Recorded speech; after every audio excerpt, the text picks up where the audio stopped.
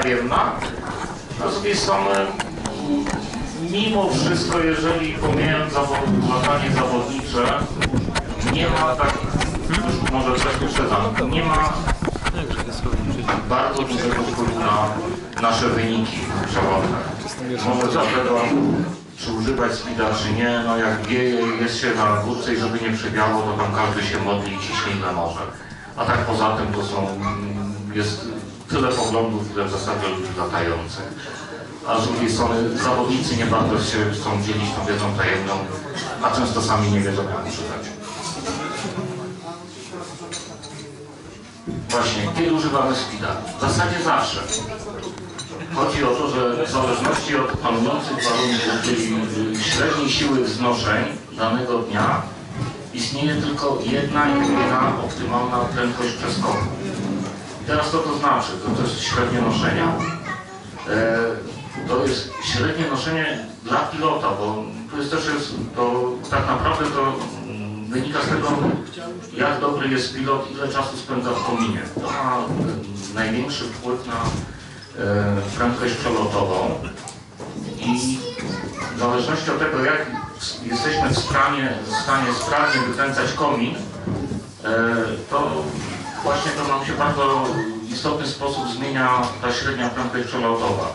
I teraz tak, e, im większe noszenia danego dnia, tym e, właśnie możemy sobie na przeskokach e, że tak powiem, więcej wciskać speeda, będziemy szybciej dolatywać do kominów i będziemy się wykręcać. Chodzi o to, że jeżeli jest mocne noszenie i ciśniemy na maksa, możemy przy bardzo mocnym będziemy szybciej niż ktoś, kto lecąc na prędkości optymalnej, termowej, jak to zwał, to leci wyżej, ale my w tym czasie, będąc niżej w kominie, już będziemy wyżej, wykręcimy się niż on doleci, czyli będziemy niejako mieli ten zapas wysokości yy, po prostu wyprzedzimy, nie?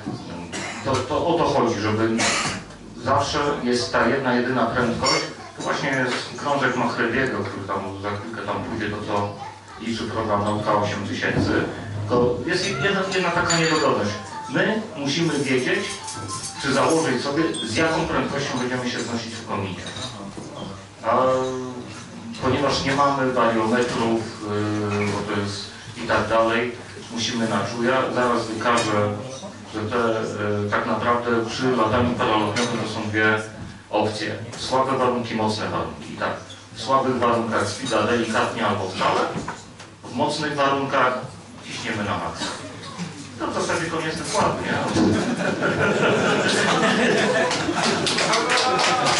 E, Jeszcze jedna, jeszcze jedna taka jest uwaga właśnie, że prędkość wiatru nie wpływa na prędkość przeskoku. Właśnie są mity takie, że jak lecimy z wiatrem, nie używamy speeda.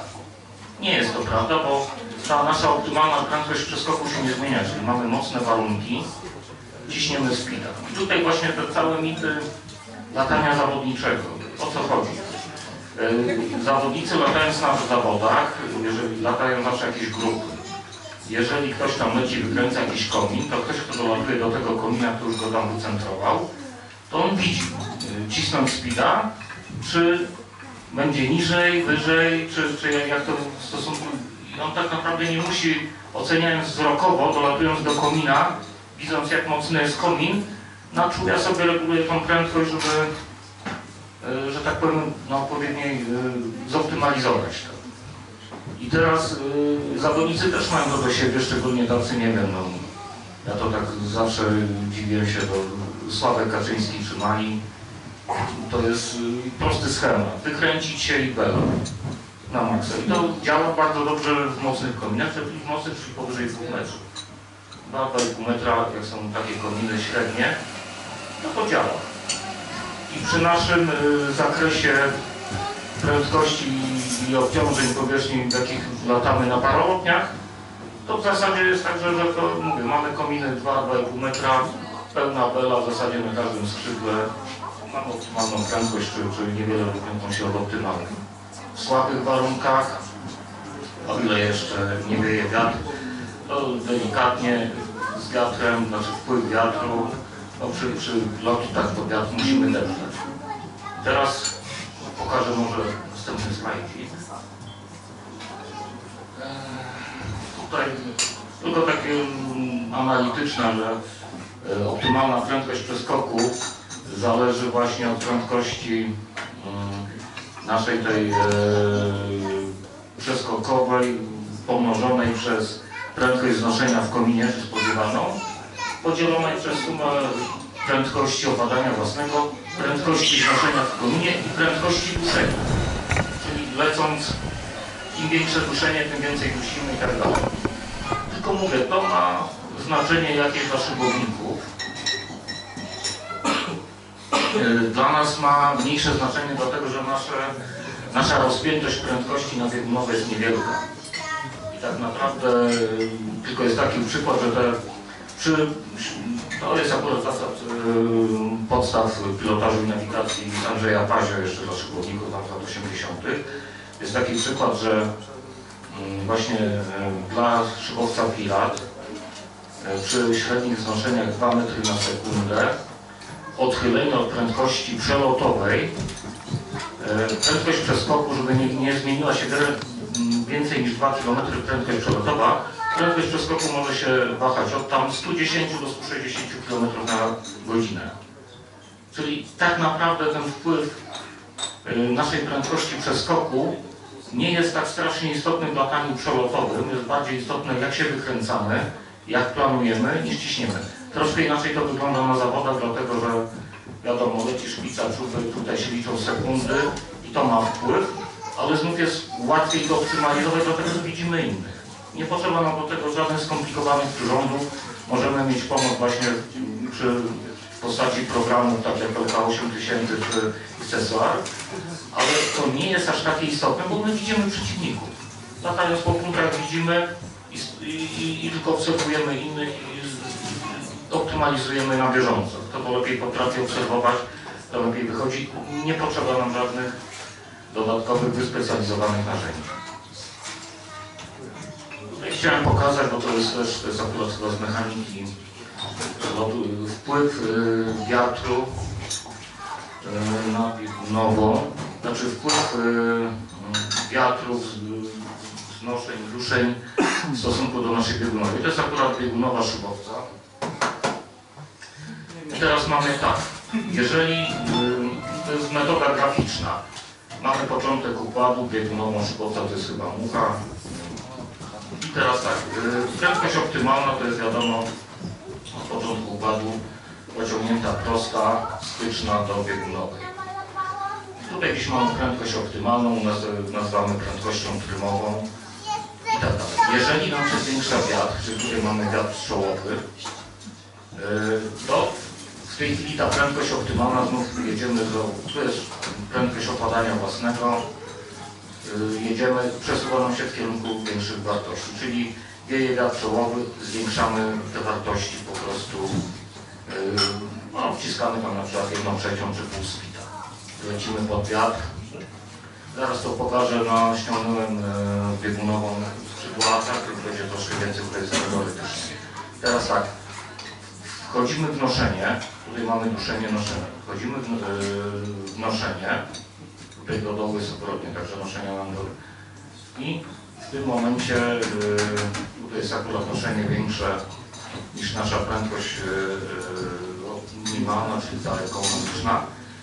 I co się okazuje, że tak naprawdę nam wzrasta do nieskończoności yy, na prędkości tutaj ekonomicznej, tej minimalnej yy, staramy się krążyć. Jeżeli wchodzimy, mamy yy, w duszenie, tutaj mamy na tej osi góry mamy duszenia i yy, no, powiedzmy wiatr czołowy i duszenie, tutaj było wiatr czołowy bez duszenia przy prędkości opadania 0 mamy jakiś punkt, prawda? Przy y, duszeniu większym znów nam się przesuwa w y, kierunku ta styczna, y, punkt styczności w kierunku większych prędkości. To jest cała filozofia, to właśnie dlaczego dusimy. Dlatego, że ta prędkość y, optymalna przesuwa się w kierunku większych prędkości. Teraz przedstawię to na przykładzie biegunowej skrzydła Dudka Atak. Y, których rzeczy pro- po prostu pokazuje rzeczywiste biegunowe, które są przestrzeń czasoprzestrzeniową, nie, e, że tak powiem, liczone tak, tak sobie. Przepraszam za Was groły, no ale e, chciałem to pokazać sam o co chodzi. Tutaj mamy. Tu mamy trzy biegunowe generalnie pokazane przy trymerach Gnentrum, to skrzydło zawodnicze, jeszcze były kiedyś trymery. E, trymery zaciągnięte, czyli takie konfiguracja do krążenia, gdzie mamy mniejsze prędkości minimalne, a troszkę większe opadanie, trymery odpuszczone, czyli mamy troszkę większe opadanie, ale przesunięcie, wypłaszczenie biegunowej w kierunku większych prędkości. I teraz o co chodzi? Chodzi o to, że nasza prędkość optymalna, po prostu mamy tutaj punkt styczności, nasza prędkość optymalna jest przy duszowym, yy, zerowym duszeniu. I to jest, że tak powiem, yy, tam jakieś 38 km, nie widzę skąd, ale pewnie jakieś około 36-8 km na godzinę. Tam do 40 teraz. Teraz o co chodzi? Zmienia nam się wiatr, jeszcze nie, znaczy nie wiatr, tylko noszenie. Mamy duszenie międzykominowe, czy właśnie tutaj jest takie przy naszych, y, wiesz, już potem może być spodziewane noszenie w kominie. Generalnie, no, no to samo wychodzi, bo to prędkości się później dodają.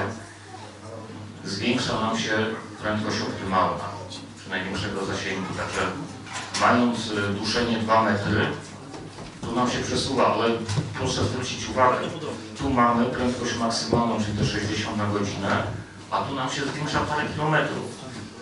Dlatego wpływ, czy my tutaj lecimy na tym speedzie, czy nie o te parę kilometrów, to jest bardzo niewielki. Jak będziemy lecieli dalej strymową, to, to są niewielkie różnice. Dlatego mówię, że przy naszych zakresach wagowych i zakresach prędkości ten wpływ tego, wpływ tego speeda bez wiatru nie jest wielki. Ale sytuacja się diametralnie zmienia, gdy zaczyna wiać. Bo jak zaczyna wiać, to już nam tutaj się może niewiele przy bezduszeń, że tak powiem, mm, zmienia ta prędkość y, optymalna, ale jak dodamy 2 metry duszenia, to się okazuje, że przy 2 metrach, 2,5 musimy już cisnąć na maksa, bo mamy w granicach prędkości maksymalnej. Dlatego to, co Zbyszek Rotkiewicz ciągle y, tłumaczy i tak dalej na liście, mamy tak, mamy duszenie powyżej 2-2,5 metra, ciśniemy speeda w zasadzie na maksa. Lecimy na podwiatr i o ile tutaj sobie lecimy pół speeda i tak dalej, żeby się bezpiecznie czuć, to w momencie nawet minimalnego duszenia jednego metra on się zbliża w, kierunku do optymalnego tych prędkości maksymalnych. Dlatego ściągnąłem taką mazę, bo po prostu opracowań dla par- paralotni nie ma tego typu. Dlatego sobie tutaj pozwoliłem pomazać, ale chodzi o to, że my tak naprawdę musimy uwzględnić dwa, e, że tak powiem, e, stany. Słabe noszenia, słabe, słabe dzień termiczny i silne noszenia. W silnych noszeniach nie zastanawiamy się, grzejemy właśnie według schematu komin, bela, komin, bela. W słabych noszeniach musimy się dobrze zastanawiać, żeby dolecieć do następnego komina. To jest cała filozofia używania speeda. Oczywiście nie mówimy to o żaglu, lataniu i tak dalej, bo to wszystko jest wtedy realne. Powinniśmy tego speeda używać, żeby po prostu przyzwyczaić się do używania speeda. Bo to jest tak, jak jest dobry dzień, może te zyski nie są duże, ale byciu tam 7-10 godzin w powietrzu, jak się lata długie przeloty, to jednak te prędkości przeskokowe, no potem, potem są te różnice, że, że polecieli wszyscy razem, jeden poleciał powiedzmy 220, a drugi w tym czasie 250 km, nie? To jest oczywiście główny wpływ na, e, że tak powiem, wykręcanie i kominów i skuteczność i niebożenie się, nie, nie, po prostu wykorzystanie optymalne kominów, to ma główny wpływ, ale prędkość szczególnie e, że tak powiem, e, ta przeskokowa ma jakiś tam wpływ. Jak zaczyna wiać, to ma wpływ podstawowy. Tutaj jest teraz tendencja taka lataniu, że tak powiem, przelotowym, bo większość, bardzo dużo pilotów przesiada się właśnie na skrzydła szkolne, właśnie z tych względów, że przy lataniu z wiatrem, to czy my mamy skrzydło, które leci, ma prędkość maksymalną na speedzie 54 czy 5 czy 70, nie ma w zasadzie różnicy, bo przy lotach z wiatrem y, to te po prostu uzyski na prędkości przeskoku są nieporównywalnie, że tak powiem, mniej cenne niż prawidłowe y, działanie, czyli w kominie, nie banie się warunków mocnych, czyli ta strona psychiczna, że, że, że, że skrzydło nam nie, nie, nie narozrabia. I to przy lataniu z wiatrem, biciu rekordu w zasadzie zupełnie nie przeszkadza, żeby na nowoczesnych y, skrzydłach klasy MB latać bić rekordy. No, gorzej się ma sprawa tak na zawodach, że latamy po jakichś trasach wyznaczonych, mamy wiatr i w tym momencie tam tutaj brak tych 10 km na prędkości maksymalnej może być zasadniczy, ogóle gdziekolwiek dolecimy. Bo wystarczy wiatr powiedzmy czołowy ze 3 metry i skrzydła szkolne wysiadają, a na zawodniczych jeszcze polatamy. Ale to jest tylko w tym momencie, że właśnie skrzydła zawodnicze jak najbardziej przeloty zamkną. Przy, przy wietrze, przy wietrze nie musimy być wiatr czołowy. Bierzemy latamy w bałkach, jest tam mamy gwiazd gradientowy, 1-2 metry. No w zasadzie na każdym mentorze, czy tam w polatamy porównywalnie gałęzo i tak dalej, a nawet często może być lepiej, bo możemy się pakować bardziej, że tak powiem, odważniej niektóre, e, że tak powiem, rzeczy możemy więcej ryzykować, bo, bo te skrzydła na to pozwalają. Po prostu coś się zadzieje, to się szybko kończy, a skrzydła zawodnicze czasami są trudne do wyprowadzenia. Także tutaj jest ta tendencja. No to w zasadzie chyba tyle. Tutaj jeszcze mam takie porównanie, jak się właśnie, o co chodzi jeszcze. To jest metoda do wyznaczania krążka e, Macreziego czy krążkowego. W ogóle cała teoria, e, to co w tej chwili mówimy o teorii przeskoku, jeszcze przez pana taka szczyga w latach tam pod koniec lat 30. była opracowana. A po wojnie e, Amerykanie właśnie Paul Macready latając zresztą na polskim Olimpi, dwa Olimpi były produkowane na Olimpiadę w Berlinie, bo wtedy szkolnictwo był sportem olimpijskim. No właśnie zoptymalizował tą metodę Kasprzyka i stworzył kalkulator właśnie e, krążkowy, czy, czy, czy właśnie, jak to się mówi, krążek Macready'ego, który służy do y, określania aktualnej, y, optymalnej prędkości przeskoku. To się stosuje na szybowcach, to jest właśnie wariometr, na, na, zamocowane jest to na wariometrze energii całkowitej, czyli na wariometrze, który ma wyeliminowane y, chwilowe wahania, że tak powiem, spowodowane zmianą prędkości. A to taki szczegół. Jedną sekundę, jak to się używa. To się używa w bardzo prosty sposób. Tu mamy e, to, co mamy liczyć właśnie K800, ale tutaj mamy po prostu e, wariometr energii całkowitej, który pokazuje aktualne noszenie, opadanie przy eliminacji chwilowych skoków związanych ze zmianą prędkości szybowca. Tu mamy e, prędkość optymalną akurat dla multi standard, to jest 71, prędkość to jest, to jest prędkość ekonomiczna, czyli najmniejszego opadania. I teraz ustawiamy, jeżeli się spodziewamy, to jest znów to, musimy całe, żeby mieć w da- w danym momencie optymalną prędkość przeskoku, musimy wiedzieć, jakie, jakiej, mo- z jaką prędkością będziemy się, że tak wykręcać w następnym kominie, czyli zakładamy sobie średnie, to średnie noszenie, albo połowę maksymalnych noszeń danego dnia.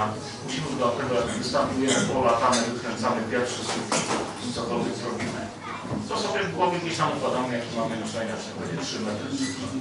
To jest założone noszenie właśnie, że spodziewany komin następny, do którego lecimy jest 1 metr. Teraz w zależności od wskazań, w zależności od wskazań mamy podane prędkości, z jaką należy lecieć. I przy 3 metrach duszenia mamy 110.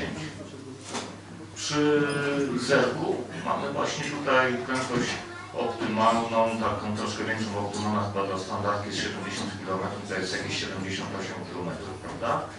Przy znoszeniu po prostu zbliżamy się do, do, do prędkości, znoszeniu do prędkości minimalnej, nie, nie latamy z prędkością mniejszą niż minimalna, z tą prędkością, przepraszam, ekonomiczną, najmniejszego opadania, bo potem stworzymy tak zwany drugi zakres prędkości działania drobnosterów, czyli przy ściąganiu drążka, a to tam sprawy rzeczy. Nie stosujemy, no, latamy w granicach najmniejszego opadania, czyli y, u nas na, y, zawsze tak, że powinniśmy latać, krążyć w kominie na lekko przehamowanym skrzydle. Dlaczego w kominie? Bo wchodząc do komina opuszczano sterowki, żeby się, że tak powiem, nie, nie odbić czy nie podwieszyć. To jest cała teoria, także wnioski są takie. Warto latać na speedzie, nawet w przewodach, nawet jak latamy z wiatrem, ale nie przesadzajmy, y, że tak powiem, że to ma jakiś nie wiadomo jaki wpływ. Bardziej ważne jest y, gospodarowanie, znaczy prawidłowe wykręcanie kominu, gospodarowanie wysokością, niż ciśnienie, ciśnienie beli na, na maksa. Są takie kwiatki na zawodach często, że właśnie ktoś na skrzydle niskiej klasy czy coś tam trzyma się wysoko, bo były słabe, szczególnie słabych warunkach. Wystarczy, że się trzyma wysoko, się okazuje, że do, do, dolatuje pierwszy do mety niż super zawodnicy, którzy kurde właśnie prosto z komin bela. Ale to są zawody. To są zawody. Tylko mówię, na zawodach widzimy innych. Potrafimy to zoptymalizować. Gorzej jak lecimy sami, ja dlatego tłumaczę, bo to jest jako latanie przelotowe. Nie ma to tak dużego znaczenia jak prawidłowe wykręcanie kominów i gospodarowanie wysokością. Na zawodach to my to optymalizujemy, bo widzimy innych zawodników. Od razu jesteśmy, wszyscy mają wspólny start. Obszarówek póki co na razie nikt nie, nie, chce stosować, czy rzadko. Widzimy, co robią inni i do tego się dostosowujemy, żeby być w. I tutaj ta nasza cała, cała teoria, to po prostu widzimy, co się dzieje i, i odpowiednio, że tak powiem, mając nowe na razie regulujemy, żeby to zoptymalizować, żeby być lepsze, żeby się zbliżać. Dziękuję.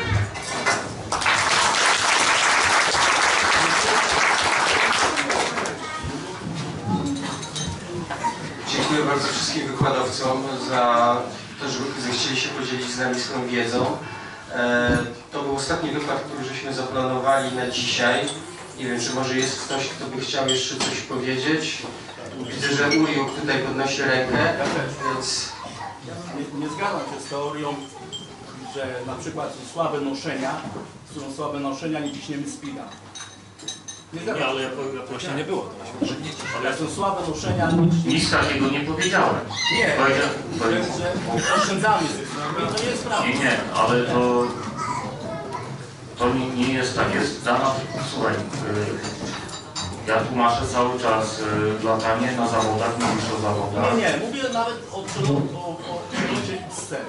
Po prostu nie ma nic, nie ma nic wspólnego noszenie ze speedem. Kompletnie zero. Ma noszenie, nie ma, ma, ma, ma, przy, no, prosta sprawa, prosta sprawa. Dlaczego mówię, że biegunową ma taka wziąć? Bo no, mamy, mamy trzy podawane trzy prędkości przy paralognie. Prędkość minimalną, prędkość opadania. Czyli dla wszystkich, bo to sobie można przeliczać, ale jakbyśmy nie liczyli, to ta minimalna prędkość opadania dla naszych paralogni w tej chwili nowoczesnej to jest między tam 35, 6 km a 38. Prędkość trymowa jest, znaczy trymowa, czy ta optymalna, ona jest albo optymalną, albo ciut większą niż optymalna, dla, bo skrzydła wtedy latają około 40 km, ta optymalna to jest granica 38-40 km. Teraz skrzydła zawodnicze mają jakieś 42. I teraz o co chodzi? Skrzydło zawodnicze na beli, bo to jest, to jest tak, prędkość minimalna, optymalna, czyli trymowa podawana i prędkość maksymalna. Prędkość maksymalna dla wszystkich skrzydł to jest 2,5 metra opadania. Tak się przyjęło, czyli możemy oczywiście tam cisnąć więcej, ale się tak wziął, że w warunkach zero mamy biegunowe nam się kończą na 2,5 metra opadania i skrzydła zawodnicze mają tam 60, powiedzmy do 70 km, czy tam jak poprzestawia ktoś tutaj więcej, ale wtedy ma troszkę większe. I ta biegunowa dosyć stromo później opada, bo mamy mało obciążenia powierzchni, przy szybowcach one są bardziej płaskie. I teraz o co chodzi? Cisnąć, y, jak ciśniemy mocno belę w słabych warunkach, to my przylecimy o tyle niżej do komina, że ten, kto będzie leciał po prostu y, na optymalnej, czy tam na jednej trzeciej beli, to jak do, doleci do nas, to my się jeszcze nie wykręcimy tyle, tam na przykład 0,5 czy 1, to on przyleci kurczę tam, nie wiem, 200 metrów wyżej i bę- będzie dalej wyżej od nas. To o to chodzi. Ale skąd wiesz, gdzie jest komin? Proszę? Skąd wiesz, gdzie ten komin jest? No spodziewasz się, jak lecisz do chmury. Nie, nie, nie, Jak lecisz, jak, jest komin, to będę robił co, Ale- co przelot 300 km. ale to nie, nie spodziewasz się, gdzie jest komin, tylko są, nieprawda. e, ile wykręcając się po starcie, generalnie schemat jest taki, że wykręcamy, robimy SUV, jak się da, jak się nie da, czy tam do startu się gdzieś stajemy jak najwyżej na zawodach. I w tym momencie musimy sobie rozpoznać warunki. I teraz, jeżeli sobie w głowie zanotujemy, że dobra, ja bo to jaki jest, my nie możemy polegać na tym, że na przykład Goraj się wykręca i mówi, że on ma trójkę. Bo tutaj, powiem, nie wiem, jakiś dzisiaj okazio, który zaczyna latać i on z tej dwójki urzeźbi półtorej metra, albo nawet mniej. I on nie może sobie przyjmować, że powiedzmy do, do kalkulacji tego, że on będzie miał silny komin, on leci na maksa ciśnie dole, a jest powyżej 2,5, ja lecę. Bo się okaże, że Goraj do 4 razy w tym kominie przekręci w tym czasie. Ale dobrze, ale, ale co ma wspólnego komin, kręcenie komina do, nas, do spida? Że nie latamy w kominie na spicie. Mi chodzi o przelot, o przelot z komina do komina. No, ale to- Przenosi półtora, trzy, cztery, ciśniemy tą lewę. Jakby nie było, dolatujemy na No właśnie, że nie. nasypełku Właśnie- komina, właśnie, bo nie że wiem, nie. że ten komin. Nie, bo nie wiem, Właśnie, że nie. nie. Jest, właśnie nie mam tego rysunku, to jest, właśnie o to chodzi, że jak jest inaczej, nasze, nasze straty, no, ile, prosta sprawa, Zgodził- Zgodziłbym się z Tobą, z tą teorią, tak, zgodziłbym się, ja troszkę latam, zgodziłbym się, gdyby pod jednym warunkiem, gdzie mamy wysokość powiedzmy tysiąc, podstawy są tysiąc metrów. Oszczędzam tego speeda naprawdę, ile, ale właśnie ale w tym to są właśnie te mity, ale dlatego które chcą, chcecie się opalić, to właśnie o to chodzi. Mam 2,5 tysiąca, Ale słuchaj, mam dwa ale- ale ale, widzisz, dlaczego mam oszczędzać do półtora noszenia, czy co? Nie rozumiem. Nie, dokładnie, bo jeżeli się spodziewasz, że latasz na przykład w wilgotnym powietrzu, gdzie są noszenia słabe i nie będzie tego dnia, będziesz miał meterek, to w zasadzie w ogóle się nie opłaca nasz, na, na paralotniach używać speeda. Bo jak polecisz 4 km na speedzie, nie wiem, tam powiedzmy 10 metrów, 60 na godzinę, powiedzmy, że lecisz na jakimś wyczynówce, 4 km, 15 metrów na sekundę, powiedzmy 3 km będzie lepiej, tak? Bo lecimy e, 200 sekund, tak? 200 sekund. 200 sekund i mamy 2,5 metra e, razy 200, e, to mamy tam e, 500, tak? Metrów stracimy. Teraz odzyskać 500 metrów w meterku to jest 500 sekund. Poczekaj, to jest 500 sekund. Teraz ja lecąc na 40 na godzinę mam opadanie nie 2,5 metra, a 1 metr. Czyli 40, powiedzmy, że to jest 10, 12 metrów na sekundę. Tak, mamy 3 km przez 12 przez sekund.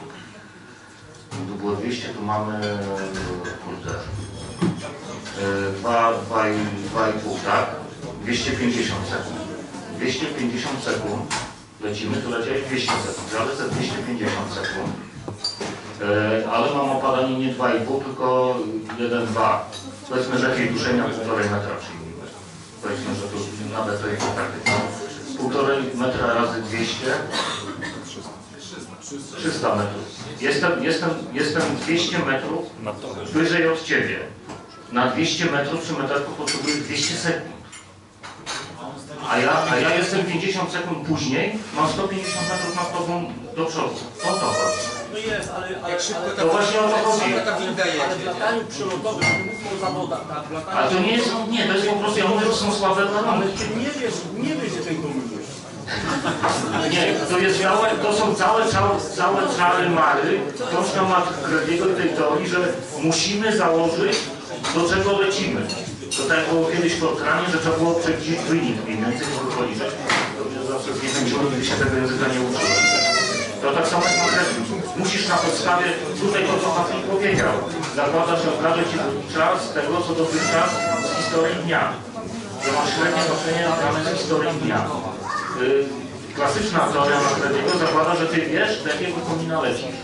Na zawodach jest o tyle prostsze, że właśnie widzisz innych, jak się wykręcają. Zawsze z przodu. Jak, wszystkich. no, no, no wiem, jak coś jest tak dobre, no to, ale to wtedy ma większe doświadczenie, właśnie bazuje na własnym doświadczeniu. I tutaj mówię, y, to jest właśnie o to chodzi, że na zawodach widzimy innych, możemy optymalizować, latając samemu są, dlatego mówię, że są dwie właściwe wartości w paralotniarstwie. Słaby warun, mocny warun. Słaby warun y, to jest tak, że bardzo delikatnie albo słabo. Jeżeli mamy te noszenia powyżej 2,5-3 metry, że my się potrafimy wnosić, czyli latamy w to w zasadzie wskazane jest ciśnienie między kominami, byle tylko doleci. Oczywiście nie przesadzajmy, jeżeli mamy wątpliwości, czy dolecimy, czy nie, no to tą nogę z gazu ściągamy. Ale w zasadzie powinniśmy latać. Dobrym a przeważnie latamy, że tam powyżej, no te noszenia są jednak powyżej 2 metrów. Wtedy się nie zatrzymujemy. Tu jest jeszcze sprawa, bo bardzo zyskujemy właśnie może takiego szkolstwa, ale to dla nas też, bo nie powiedziałem o tym. Jak lecimy, napotykamy duszenie yy, czy, czy znoszenie. Nie powinno się za bardzo, żebyśmy nie, nie latali, żeby szybko latać, nie powinniśmy się, ja to, ja to robię tak, no może żarty troszkę inaczej, no, ale mam dosyć, ostatnie lata mam dosyć dobre. Chodzi o to, że tak, zakładam sobie, że na przykład nie, mamy podstawę 2000, ja zakładam, że sobie tam spokojnie y, powinienem komin znaleźć taki gdzieś na, na wysokości 1400 metrów, 1200. To jest tak bezpiecznie, że jeszcze mam prawie czego. I do tego momentu cisnę, ale teraz o co chodzi? Bo powiedzmy mamy no, y, powiedzmy średnie noszenie, a tak na, na, na pół nie, między kominami. Ale napotykam noszenia. To nie kombinuję za bardzo, jak nie, nie spotykam, zakładam, że on będzie 2 metry, czy 2,5, no 2 metry, nie za dużo ale spotykam 4 metry, no to w tym momencie kręcę. Ale spotykam metery czy coś, to się nie zastanawiam. Nogę z gazu delikatnie. Kiedyś tam było jeszcze latanie delfinem, coś tam. Nie przesadzajmy, bo tu można się pogubić. Nogę z gazu delikatnie. I tak samo się delikatnie rozpędzamy, kończy się noszenie, czy dociskamy. Bardzo dużo na tym zyskujemy. Kiedyś były właśnie teorie tam latania delfinem, jakiegoś rysowania czy coś. W praktyce się nie sprawdza, bo y, energia rozpędzenia szybowca, paralogii, straty i jak zaczniemy rysować, ciężko bardzo łatwo się pomylić. Ale nogę z gazu bardzo dużo zyskujemy. Trafiamy na duszenie, od razu pełna bela i po prostu spierdzielamy, nie zastanawiamy się. Także tutaj jest to też bardzo poprawia. Tak samo w kominach, jeżeli mamy słaby komin, mamy średnie noszenia i, i mamy gdzieś tam musimy podreferować, ale mamy ten komin, powiedzmy mamy półmetrowy, mamy 0,5 się. Jak mamy nic, to musimy, nie mamy wyjścia. Dlatego mówię o gospodarowaniu wysokością, bo jeżeli prawidłowo gospodarujemy wysokością, nie zawracamy sobie słabymi kominami. Jeżeli są mocne, szukamy coś mocniejszego. Mamy wysokość, gdzie już powinniśmy szukać, czyli mamy powiedzmy podstawę 2000, zakładamy, że do 1000 mamy do 1200, no to musimy coś podkręcić. Ale wtedy podkręcimy i już nie kręcimy podstawy w tym 0,5, tylko szukamy coś mocniejszego, żeby było chociaż te 2 albo więcej. Jeżeli jest mocniejszy komin od zakładanego, bezwzględnie kręcimy. Nieważnie mocniejszy, bo tam będzie 0,2. Mamy dwójkowe kominy, trafia nam się czwórka, nie zastanawiamy się, kręcimy do podstawy.